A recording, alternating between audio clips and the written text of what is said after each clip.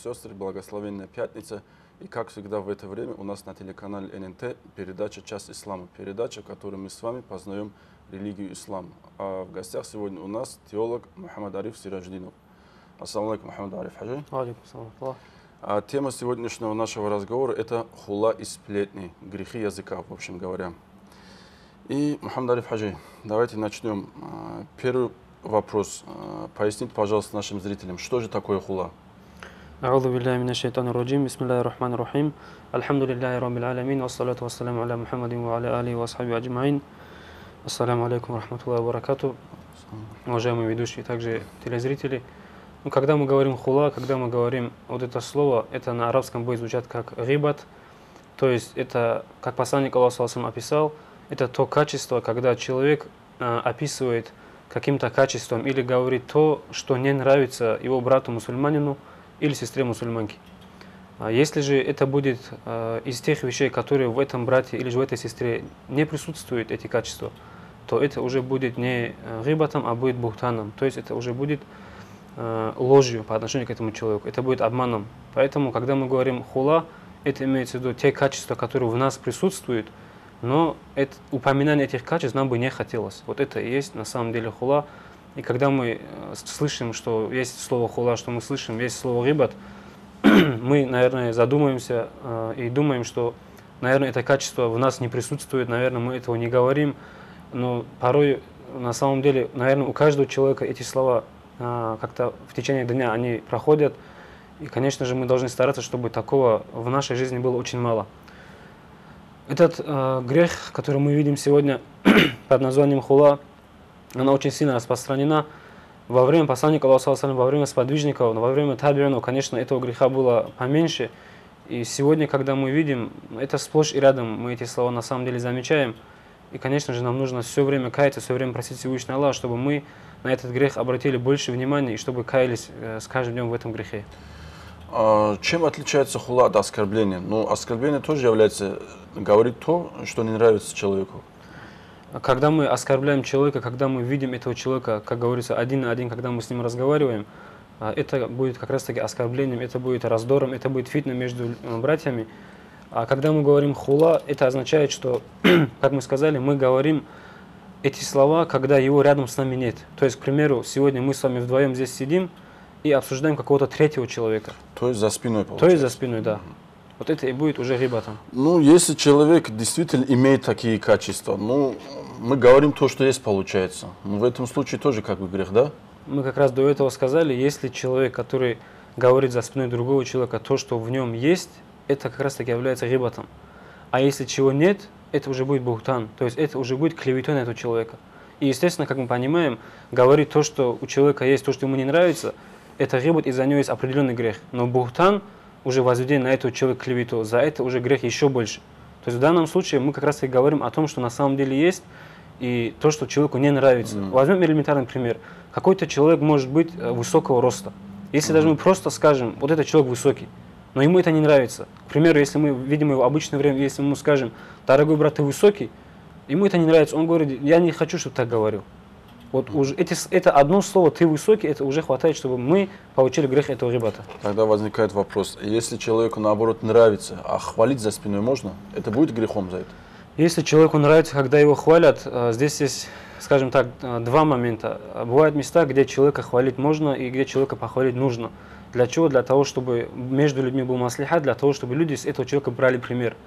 Но здесь нужно учитывать другой момент – вот бывают люди, когда вот э, их похвалили в том, mm-hmm. что они совершают, они вот на этом, как бы, скажем, уровне останавливаются. К примеру, если есть какой-то хороший работник, и когда начальник его хвалит, говорит, вот ты молодец, ты там совершил какое-то деяние, э, вот прогресс этого работника, его совершенство над собой, оно останавливается. Ну как-то самодовольство да, да, да. Вот, чтобы это самодовольство не появлялось, лучше при таком человеке, конечно, за, э, вот прямо за ним чтобы он слышал, лучше этой хвалы э, ему не возводить и лучше этого человека не хвалить при людях, когда все другие люди тоже видят. Вот здесь таких, как мы сказали, два момента. Есть момент, где нужно похвалить, есть момент, когда лучше этого человека не хвалить. Дорогие друзья, хочу, я хочу вам напомнить, что вы можете задавать интересующие вас вопросы по этой теме по номеру, который вы видите у нас э, внизу экрана в соцсетях, а точнее по WhatsApp. Мухаммад Ариф Хаджи, тогда возникает э, из этого еще такой вопрос. А в каких случаях дозволяется хула или вообще дозволяется ли в каких-нибудь случаях как бы поносить человека за спиной? Говорит тоже. Здесь для начала хотелось бы разъяснить еще э, вот о том, что в том, что это хула, этот гибат, вот насколько это мерзкий грех. Когда мы говорим хула, кто-то может подумать, ну да, за другим человеком что-то сказали, там мол, у всех бывает, и на этом как-то мы ограничиваемся. На самом деле посланник саллаллаху очень большое внимание уделял именно вот этим, э, скажем так, порокам нашего сердца и также вот, э, тем качествам, которые у нас проявляются и на языке, и то, что мы говорим. Когда человек что-то говорит за спиной другого брата, имам Газали, рахимулла, э, сравнивая это, говорит, э, что бы говорит, вы сказали бы о том человеке, который привык есть хорошее мясо, который привык есть, э, нам, скажем, да, баранину, скажем, привык есть говядину, хорошо прожаренную. Если бы этому человеку сказали бы однажды, вот ты сейчас ешь мясо своего брата, вот как бы, говорит, мы отреагировали? Конечно, этот человек, говорит, сказал бы, нет, я, говорит, этого не ем, я стараюсь выбирать хорошее, хорошее халяльное мясо, я такой, только такое мясо ем. Вот имам Газали, рахималла, говорит, что посланник Аллаха, говорит, когда человек говорит за спиной своего брата то, что ему не нравится, это, говорит, подобно тому, как он ест мясо своего брата. Вот такой по смыслу э, в Коране аят тоже есть. И теперь выходит, говорит, что человек, который говорит за спиной своего брата то, что ему не нравится, он как будто бы есть, говорит, мясо своего брата на самом деле. Мертвечину своего брата он есть. И более того, имам Газали Рахима дальше говорит, здесь, говорит, в этом мире мы как бы закрытыми глазами, мы этого не осознаем в полной мере, но в судный день вот эта картина как раз-таки вот так и предстанет говорит, перед нами. То есть сегодня мы на столе ничего не видим, мы как бы что-то кушаем, но не видим, что мы едим. Но в судный же день нам покажут, вот ты ел вот этот мясо своего брата. Тяжесть греха. Тяжесть греха этого. На самом деле это вот настолько тяжкий грех, просто мы настолько беспечны, что мы на этот грех внимания не обращаем, к сожалению, конечно же. Мухаммад Хаджи, но если человек сам дает повод, чтобы за ним так говорили, мерзко себя ведет, невольно-невольно люди начинают его обсуждать, как-то перепадает ли ответственность за этот грех на того человека, или этот грех разделяется между обоими? Конечно, человек, который совершает грех, он должен стараться, чтобы вот этот грех, э, по крайней мере, чтобы люди этого не видели, чтобы, по крайней мере, чтобы этот грех оставался между ним и Всевышним Аллахом, и в дальнейшем стараться каяться, чтобы этот грех вообще он оставил. Если же этот грех э, как бы совершается возле людей, конечно, люди об этом грехе будут говорить. И когда люди об этом говорят, вот есть несколько вариантов, при которых они имеют право, даже более того, они вынуждены, и шарят им вот этот грех, вот это именно злословие, грех этого гибата не записывают. В каких случаях? К примеру, если какой-то правитель или же какой-то человек, который имеет власть, если он, скажем так, притесняет более слабого раба Всевышнего Аллаха, в этом случае этот раб имеет право пойти и пожаловаться на него. Будь то имаму, будь то кому-то правителю, он приходит и говорит, такой-то человек меня притесняет.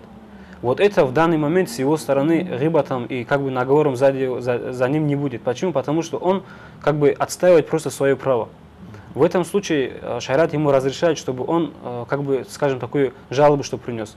Или же, к примеру, мы знаем, бывают люди, которые э, совершают грех, и более того, к этому греху как бы подталкивают других людей. В этом случае тоже, если, например, мы сами не можем этого человека остановить, если не хватает нашей, скажем так, мощи, не хватает нашей силы, чтобы этот грех этот человек оставил, мы имеем право опять-таки пойти, даже прилюдно при всех сказать, что такой-то человек совершает этот грех. К примеру, человек выпивает и к этому, э, скажем так, притягивает молодежь. И в этом случае мы обязаны всем донести, сказать, вот этот нехороший человек вот такой совершает. Для чего? Не для того, чтобы, чтобы этого человека просто, э, скажем так, оскорбить, а для того, чтобы, обере- э, чтобы мы как-то оберегли, чтобы мы отстояли вот именно как бы хорошее деяние этих молодых ребят, чтобы они к этому не привыкали. Уже у нас первый вопрос, Мухаммад Хаджи. Позвольте зачитать. Ассаламу алейкум. Вот я знаю, что м, хула сплетни это плохо. Э, Это грех, я знаю, но все равно мой проклятый язык не сдерживается. Скажите, пожалуйста, каждый раз, когда человек сплетничает, потом, если делает таубу, будет ли приниматься Аллахом его таубу? Альхамдулилля, конечно же, за милость Всевышнего Аллаха, милость Всевышнего Аллаха, она безгранична. Сколько бы человек не совершал грех, сколько бы человек не повторялся в этом одном и том же грехе, если он сделает на самом деле искреннее таубу, если он на самом деле попросит Аллаху Тааля, чтобы Аллах Тааля его простил, Аллаху Тааля принимает такого раба. Ну, вот брат как бы, он совершает грех, кается, потом снова совершает грех, кается. Как бы так, у него это все повторяется, зациклено у него. Да, здесь, конечно же, мы видим э, немножко, скажем, слабость этого нашего брата. Конечно, может, эта слабость в нас тоже с вами проявляется, и тем не менее должны стараться, чтобы этого греха было поменьше. Но таубу делать перестать человек не должен, в любом случае. И также, что мы можем посоветовать? Мы можем посоветовать, вот, это тоже приводится в книге нашего достопочтимого муфтия Ахмада Хаджи Абдулаева.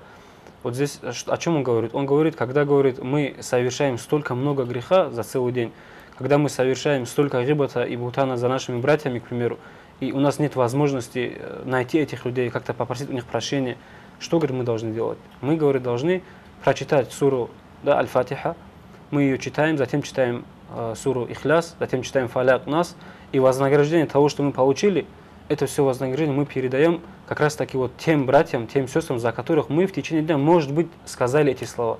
То есть сделать для себя, скажем так, такой привычкой, к примеру, перед сном, там, да, или же там, когда человек с утра пробудился, если он будет каждый раз делать этот дуа, если он будет передать вознаграждение вот, за то, что он прочитал именно тем людям, от, на которых он наговорил, это будет своего рода какой-то преградой, и в судный день, когда его спросят, почему ты меня наговаривал, вот то прочитанное, которое мы с вами отдали этим братьям, братьям это вознаграждение придет и скажет, вот я как бы за этого человека отвечаю сегодня. Компенсация. Да, да, как компенсация, то, что он разговаривал. Мухаммад Ариф Хаджи, позвольте прерваться, у нас небольшой рекламный блок, после чего мы продолжим.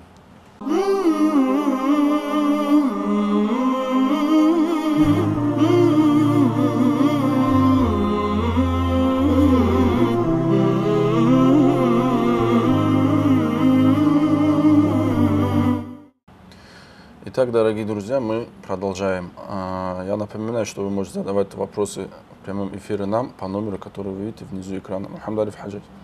Вот вы сказали, что если нет возможности покаяться, надо прочитать Алхамтри, Кулху и воздаст это а, полученное воздание этим людям, за кого вы сплетничали.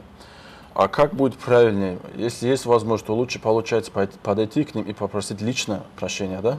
Да, если у нас есть возможность, если мы знаем этих людей, если эти люди, скажем так, остались еще живы, в этом случае не то, что было бы хорошо, а это является как бы обязанностью, чтобы мы, мы нашли этих людей, подошли к ним и сказали, вот, дорогой брат, ты меня прости, там, например, вчера там, или в такое-то время я о тебе говорил то, что тебе не нравится. Как-то даже можно, в принципе, образно сказать, то есть не за каждый грех говорить, а как-то общем сказать, я за тебя там за спиной говорил, целом, да. можешь ли ты, да, все это мне простить. Если такой человек нас прощает, конечно, альхамдулилля, нам было бы хорошо. А если человек уже как бы отошел в мир иной? Если человек отошел в мир иной, в этом случае, ну, то, что мы говорили, мы, сначала прочитаем вот, э, те суры, которые мы сказали, и вознаграждение этого будем передавать этому нашему брату. Конечно, нужно стараться, чтобы это все у нас было при жизни уже, скажем так, урегулировано, чтобы эти вопросы у нас не оставались на то время, когда нас уже не будет на этом свете. Потому что то, что мы совершаем в этом мире, к примеру, там, тоже садок, который мы раздаем, вознаграждение за нее будет огромное когда мы, или наши там, скажем, да, когда нас уже не стало, когда, мы, эм, когда за нас раздают, это наши э, потомки, от этого бывает очень мало пользы. К примеру, вот, да, мы знаем, бывают люди, которые что-то копят себе. Копят, копят, стараются как-то на ему, ему что собрать, и раз эти, этих людей не стало. Вот если они при жизни, то, что они копили бы, если они это вот раздали бы, оно принесло бы им огромную пользу. А то, что то, что они собрали, за них раздали уже после смерти их потомки, ну, этому грош цена, этому очень мало вознаграждения Всевышнего дает. Почему? Потому что человек при жизни, он, зная как бы ее цену, ее раздает. А то намерение и все то, что бывает у детей, это же только этим детям известно, что и для чего они это делали. Поэтому в данном случае, пока человек при жизни, пока мы с вами тоже живы, подойти к этим братьям, сестрам и попросить у них прощения, конечно, будет правильно и так нужно делать. Не нужно оставлять все на потом, чтобы судный день, вот как из одного из хадисов посланника Аллаха, э, вот, то, что вытекает, Посланник Аллаха говорит, что когда, говорит, судный день э, позовут одного из рабов, случится, говорит, так, что те деяния, которые он совершал, хорошие деяния, он, говорит, этих деяний в своих списках не увидит. И затем он спрашивает, о, Всевышний Аллах, а почему, говорит, моих хороших деяний здесь нет? Тогда Всевышний ему как бы объясняет, показывает, то, что, говорит, ты говорил за одного брата, это, говорит, ушло сюда. То, что ты там наговорил на другого брата, это ушло туда. То, что ты там ударил кого-то, это ушло сюда. То есть все то, что он совершал, получается, при этой жизни у него все потихоньку забиралось. И в итоге может случиться так, что мы как бы думаем, что у нас там да, огромное количество вознаграждений, у нас там горы хороших деяний есть, но на самом деле от того, что мы все время занимаемся вот этими нехорошими де делами, от того, что все время стараемся как-то увидеть в своем брате какие-то недостатки, вот все, все наши эти деяния, эти все огромные горы нашего добра, они все потихоньку растаскиваются. Добро, которое воздаяние за добро, которое мы получили, делая какие-то вообще другие дела, Да, да. Те, будут де- компенсировать да, наши те, сплетни Те деяния, хулу, которые да. мы совершили, может быть, за полученное вознаграждение за намаз, может быть, за пост, может, за какой-то, может, за какой-то садак или что бы то ни было, это вознаграждение у нас потихоньку забирается. И случается так, что человек вроде бы всю жизнь провел как бы хорошо, правильно, красиво, а- но одновременно с этим у него в ахирате ничего не остается. Потому что у него такой нехороший язык был, и все время то, что он говорил, с его хороших счетов это все списывалось. Э, Еще один вопрос такой.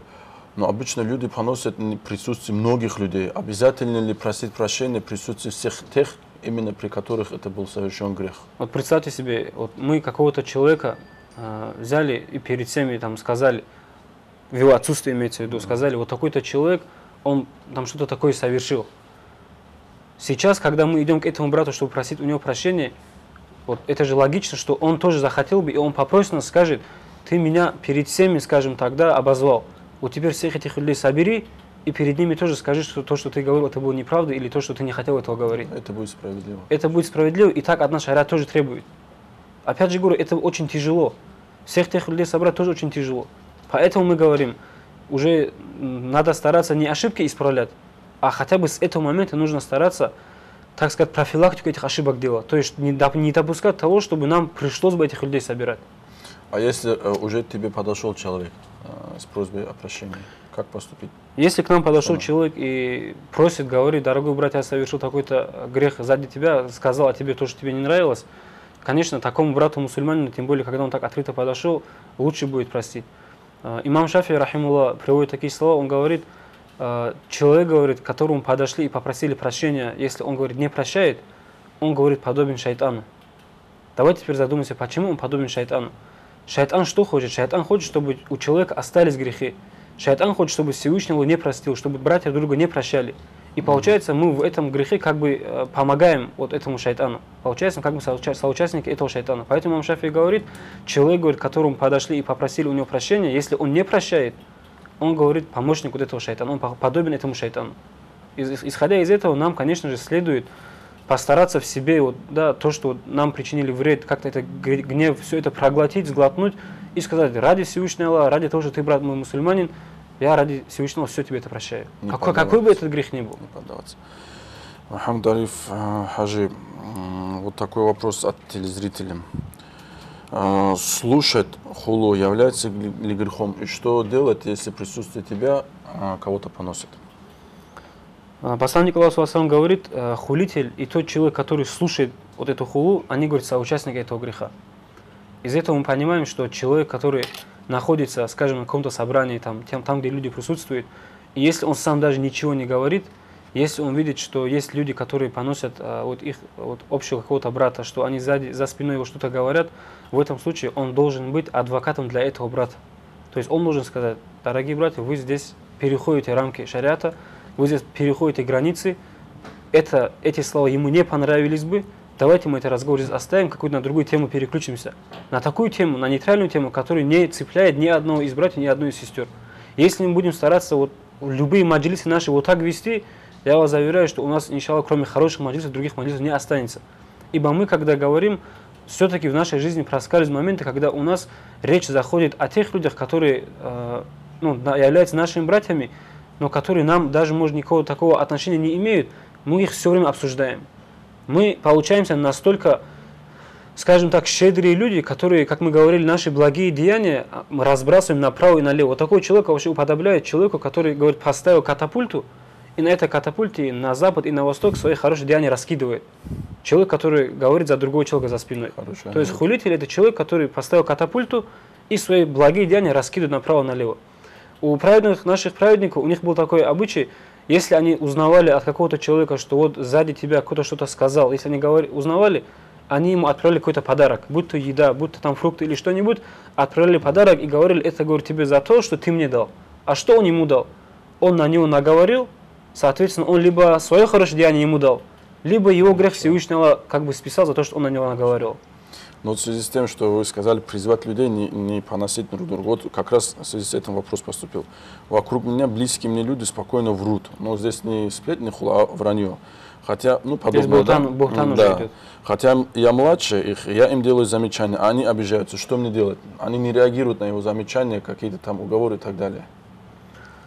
Вот мы знаем, что посланник Аллаха, когда а, говорит о том грехе, который совершается, и когда мы, чтобы этот грех оставили, вот посланник Аллаха о чем говорит? Он говорит, если говорит, вы можете, вы этот грех остановите а, да, рукой, если мы можем. Если не можем, остановили, чтобы языком. Если и так не можем, чтобы хотя бы у нас в сердце присутствовало вот это негативное отношение к этому, чтобы мы были с этим грехом не согласны. Сейчас возникает вопрос, если, например, я младший, и более взрослые люди говорят об этом грехе, если я не могу остановить этот грех, лучше будет на- в этом маджлисе вообще не сидеть. Просто выйти В этом маджлисе не присутствовать, да. Но, конечно же, было бы хорошо, если бы а, этот брат, к примеру, подошел бы к более старшему брату, человеку, который разбирается в этом, может быть, имам, может быть, какой-то другой человек, какой-то алим, и ему аккуратно объяснил бы. В этом случае от него тоже ребятам это не будет считаться, как мы говорили ранее. Он что хочет? Он хочет, чтобы эти братья этот грех оставили. Да, ос- Что, остановить злое. да, да. Что нужно теперь сделать? Нужно подойти к более такому, скажем, для этих людей уважающему человеку, чтобы он сказал, вот эти мои братья там, да, мои знакомые родственники, они совершают грех. Не могли бы вы немножко разъяснить этот вопрос? Я думаю, после того, как с ними Алим поговорит, даже если не полностью, но в большинстве случаев этот грех, наверное, надеюсь, они оставят. Раз они не могут от младшего брата слушать, наверное, от старшего брата тогда будут слушать, если Более только в этом вопрос, да. Но вы сказали, что просить прощения желательно, ну, нужно и правильно собирать всех тех, при которых было совершено, и лично тому человеку приносить извинения, что а, поносил его. Должен ли человек э, каяться перед этим человеком и перед Аллахом? Или только перед этим человеком хватает это? Конечно, любой грех, который совершается, а, в любом случае перед Всевышним Аллахом каяться всегда нужен. Любой грех, какой, какой бы мы грех не совершили, будь то перед людьми, будь то перед, только перед Всевышним Аллахом, в этом случае грех, э, он всегда, конечно, грехом остается, и перед Всевышним Аллахом за это просить прощения нужно. Это является обязательным. Просто здесь добавляется, если это то, что мы совершили грех, если он связан с человеком, связан с его честью, связан с его имуществом, связан с его кровью, с чем-нибудь, тогда уже мы должны у него самого тоже прощения просить. И до тех пор, пока этот мусульманин не простит, Всевышнего тоже, говорит, не прощают. Поэтому судный день очень великая опасность того, что даже если мы просили у Аллаха Тааля только лишь, и не попросили у нашего брата мусульмана или сестры мусульманки, что Всевышний может наше покаяние не принять. Это является условием принятия таубу.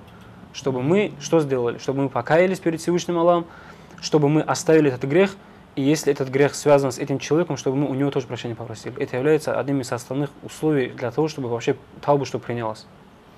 Вот этот грех на языке у всех, можно сказать, и с этим тяжело как бы так, да, его просто так оставить. Есть ли какой-нибудь какой-нибудь способ, какая-нибудь помощь, которая поможет мусульманину хотя бы как-то ограничить этот грех? Здесь э, мы, наверное, скажем, начнем с того, что человек, э, он, когда начинает видеть себя лучше, чем другие люди, когда у человека преобладает какое-то самодовольство, особенно над собой, нежели над другими людьми, вот это и есть, вот, скажем так, пик его невежества, когда человек думает, что он лучше других. Вот когда мы начинаем говорить э, за другим человеком, что он плохой человек, это тогда, когда мы думаем, что наши деяния лучше, чем у того человека. Вот теперь давайте каждый из нас просто сравнит. Вот тот человек, который перед вами находится, к примеру, я или же вы, там, кто бы то ни был из наших слушателей, телезрителей, любой человек, если этот человек себя спросит, какие у меня есть положительные и какие у меня есть отрицательные качества. Если мы просто на листочке это распишем, мы, да, некоторые люди больше минусов от себя поставят, чем плюсов. Теперь вопрос возникает, а теперь ты разреши, вот опиши точно так же мне того брата, на который ты только, только что делал ребят. Он начнет его расписывать. И может, если этот человек на самом деле разумный человек, человек, который немножко хотя бы разбирается в исламе, человек, который немножко разбирается в том, что он является на самом деле рабом Всевышнего, он может написать больше плюсов тому брату. Теперь каждый для нас уже отвечает на, на свой вопрос. Тот человек лучше или же я лучше? Раз если получается, что мой брат лучше, тогда имею ли я право на него что-то говорить? Понимаете? То есть уровнем человека, который не дошел до того даже уровня, сзади него что-то говорит. Это уже неправильно. Здесь что получается? Здесь у нас идет обратная сторона. Мы все время себе плюсы ставим во всех деяниях, а нашим братам мы всегда, все- всегда им минусы ставим. Если мы такие хорошие, если мы, у нас все, такое, все так хорошо, если у нас грехов тоже нами нет, тогда мы уже на уровень пророка себя возводим. Мы же знаем, что безгрешный только пророк и ангел являются. Поэтому у каждого из нас есть свои грехи, у каждого из нас есть свои недостатки, но эти недостатки, которые есть в нас, мы должны стараться их уменьшить. И точно так же мы должны стараться, чтобы недостатки, которые в наших братьях, чтобы мы их не замечали. Ибо мы знаем, точно так же, как мы сейчас, может быть, обсуждаем одного человека, точно так же наш брат, которого мы обсуждаем, он, может быть, нас тоже так же обсуждает. И получается этот замкнутый круг получается. Мы его обсуждаем, он, он нас обсуждает. И все равно это все конца крутится. Края нет. Конца края нет. Поэтому мы должны быть теми людьми, которые это, скажем так, злополучный круг, который разрушает, останавливаются и говорят, нет, я больше наговаривать на людей не буду. Потому что я не настолько совершенный человек, чтобы заниматься проблемами других людей. У меня своих проблем, как говорится, свыше крыши. Лучше я буду заниматься своим очищением, лучше я буду заниматься богослужением, лучше я буду заниматься таким богослужением, который приводит удовольствие Всевышнего Аллаха. А как раз таки вот этот рибат, о котором мы говорим, оно является именно вот той нечистью, той грязью, которая препятствует, чтобы мы приближались к Всевышнему Аллаху. К примеру, мы знаем, если на нашей одежде есть какая-то нечисть, в этой одежде наш намаз, он неполноценный бывает. Даже может случиться так, что намаз вообще даже не принимается. Точно так же, когда мы делаем какие-то хорошие богослужения, в этот момент, если в нас присутствует этот рибат, этот бухтан, этот намимат, что бы ни было, любые эти грехи, Аллах Та'ala нас не принимает. Мы днем и ночью совершаем богослужение, одновременно ведя нехорошие разговоры, и думаем, что мы на самом деле растем перед Всевышним Аллахом. Но на самом деле что происходит? Аллах Та'ala нас не подпускает, Аллах Та'ala нас не приближает к себе. Почему? Потому что в нас есть грязь, и эта грязь является как бы отталкивающим. Условием является, чтобы человек был чистый мы получаемся физически чистые люди, но душевно, внутри, там у нас вот эти, эти грехи присутствуют. Машаллах, Мухаммад Хаджи, интересный тест предложили. Тест на сам, проверку самого себя, хорошие качества, плохие качества себя и своего брата. Машаллах, надо будет всем нашим телезрителям взять на заметку. Дорогие друзья, мы продолжим после очередного рекламного блока.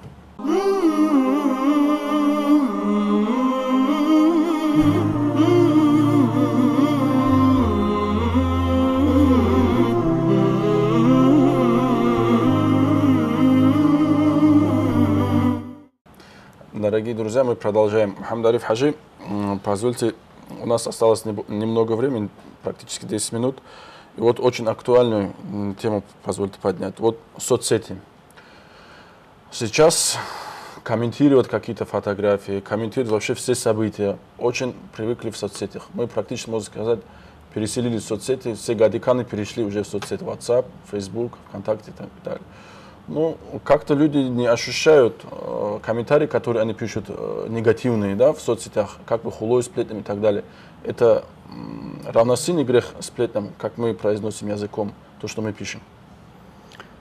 На самом деле, сегодня, когда мы видим, что все, что происходит в социальных сетях, и, к примеру, сегодня, когда наши братья и сестры, когда слышат ответ, когда алимы нам разъясняют и говорят, что то, что происходит в соцсетях, это равнозначно тому, что происходит в жизни – что она несет такой же вред, мы этому должное значение, должное значение не придаем и думаем, что мы за это отвечать не будем.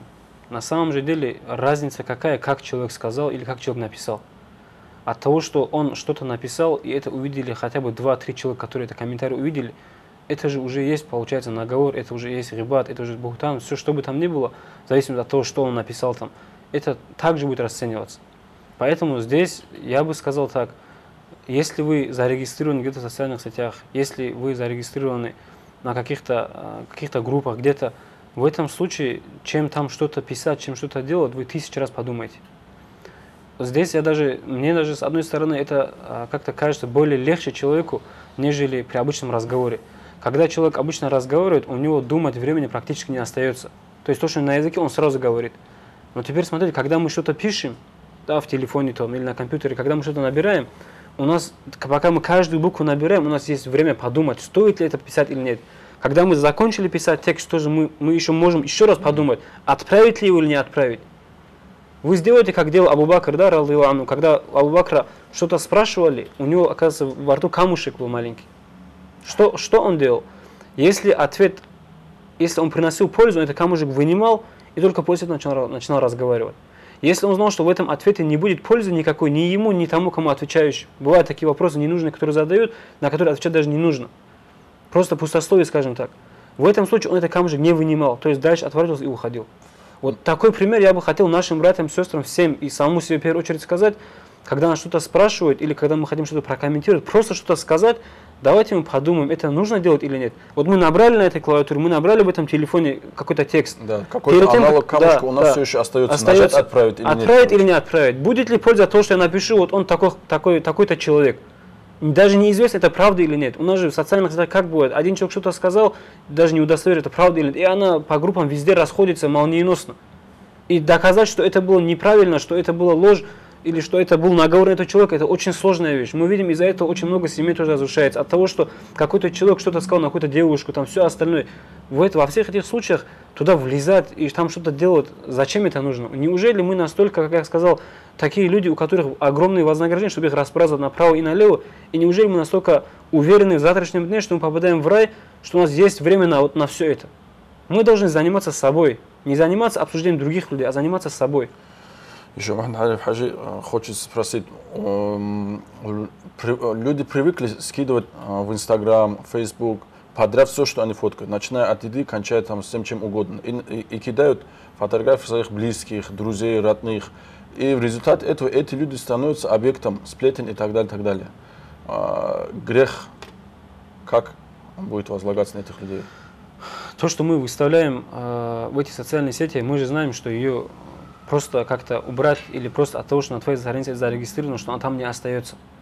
Любой человек, который в этих сетях зарегистрирован, он тоже получает какой-то определенный доступ к этому файлу, к этому материалу, к этой картинке, видео. Она может в дальнейшем попасть, э, скажем так, в какие-то нехорошие руки, их могут где-то использовать. Вот все это для чего мы делаем? Когда мы фотографируем, эту фотографию, она нам вообще нужна или нет, нужно подумать много раз.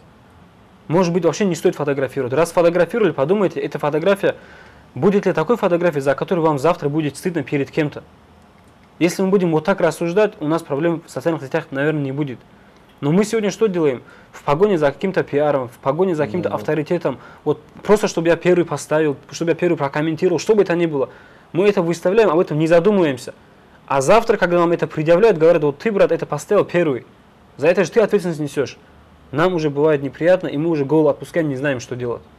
Ну, мы живем в информационном мире. И не секрет, что многие люди ставят свои фотографии, желая, чтобы их комментировали. Им без разницы, их будут хвалить или как-то негативно будут к ним относиться. Главное, чтобы они были на слуху. Вот э, они таким образом, получается, провоцируют грех сплетен, да? Конечно, они, получается, и провоцируют, и эти, этих людей мне искренне жалко, эти люди, которые, они думают, что как бы они такие хорошие люди, что за них нужно все время что-то, чтобы говорили, и они э, хотят, чтобы о них все время что-то говорили, они этим самым просто свой авторитет хотят поднять, скажем так, да. Это люди, получается, самодовольные, очень такие люди, у которых самомнение очень высоко, и которые, скажем, ну, болеют такой звездной болезнью, что ли. Им нужно лечиться, и таким людям нужно постараться, чтобы эти их качества, они были немножко поменьше. Э, В качестве того, что мы говорим, что он, у него самолюбие в этом человеке есть. Такой человек, когда его комментируют, и ему это нравится или не нравится, ему если разницы нет, ну, об этом человеку что мы можем сказать? Получается, ему нет разницы, он в рай попадет или в ад попадет. Ему же без разницы, что о нем пишут. Так он не должен относиться. Человек должен стараться, чтобы о нем говорили только хорошие. Если он не будет совершать какие-то плохие деяния, о нем говорить плохо, наверное, тоже не будут. Это тоже логично же. Человек должен стараться, чтобы о нем говорили только хорошие. Но такая провокация снимает ответственность от греха того, кто комментирует негативно это все. Тот грех, который совершается прилюдно, тот грех, о котором все знают, и если является на самом деле правдой, говорит, что такой человек совершает э, этот грех, Ну, это ну. не будет являться рибатом. Понимаете? Ну, К это может быть не грехом человек совершает. Как-то, ну как-то оделся, да, смешно, выставил фотографию, вот его комментируют как-то. Возможно, этот человек не понравился, а он это специально поставил фотографию, чтобы он был Ну, на там слуху. уже получается, когда человек выставляет фотографию, и если ему нет разницы, это будет хорошо или плохо, получается, как мы сказали, если человеку не нравится, этот ребат получается. В данном случае он, получается, согласен с тем, чтобы его обсуждали Да, и да, он согласен. В этом случае, ну, такого ребата, как при обычном, котором мы говорим, такого гр- греха, я думаю, не будет. Здесь уже нужно этому человеку немножко, скажем так, подумать о том, что он сам делает, если ему нет разницы, его обсуждают или нет. Вот здесь э, а, еще один такой вопрос от наших телезрителей. Человек э, как-то притесняет соседей, а он как бы оправдывает это все, что он совершает намаз, он построил у них там мечеть и так далее, так далее, и как-то так поносит соседей, все время с ними скандалит и так далее. А, а, и как бы считает, что он имеет на это право, он авторитетный благодаря каким-то таким деяниям. Это э, снимает с них его грех оскорбления, сплетен и так далее. Вот человек хочет знать, насколько это тяжко. Понятный вопрос. Человек, который совершает какие-то благие деяния, если он, если он их совершает для того, чтобы он смог завтра сказать, э, имеется людям, чтобы, как скажем так, предъявить, вот я, мол, совершаю, а вы не совершаете. Вот таким деянием, э, его деянием, грош этим деянием сына. Почему? Потому что то, что он совершает, он должен совершать не для того, чтобы люди сказали, он это совершил, а для того, чтобы это было принято Аллаху Тааля, чтобы Всевышний принял его, и он ради Аллаху Тааля или ради этих же братьев и сестер он это совершает. То есть в конечном счете он их совершает не для того, чтобы ему, скажем так, в этом мире кто-то добром отплатил. Не для этого, а для того, чтобы, иншаллах, чтобы эти деяния ему помогли в судный день в рай попасть. Здесь, если он говорит, что вот, мол, я совершаю такие хорошие деяния, я такой хороший, и соседи могут сказать, да, ты такой хороший. Получается, он свою эту заслугу, свою похвалу он в этом мире уже получил. Подобно тому катапульту, как разбрасывает, он да, разбрасывает. и поэт, поэтому Аллах Тааля сделать, может, может сделать так, что он, раз он в этом мире говорит, я такой хороший человек, Всевышний ему судный день скажет, ты же говорил, что ты хороший в этом мире человек. В, уже в том мире, в Ахирате, ему ничего не даст с, с, вот той доли, которую ему хотели бы дать. Спасибо, Мухаммад Ариф Хаджи. Э, к сожалению, время нашей передачи ограничено. Нам придется попрощаться. Дорогие друзья, спасибо за внимание. Увидимся на следующей неделе. Ассаламу алейкум ва рахматуллах.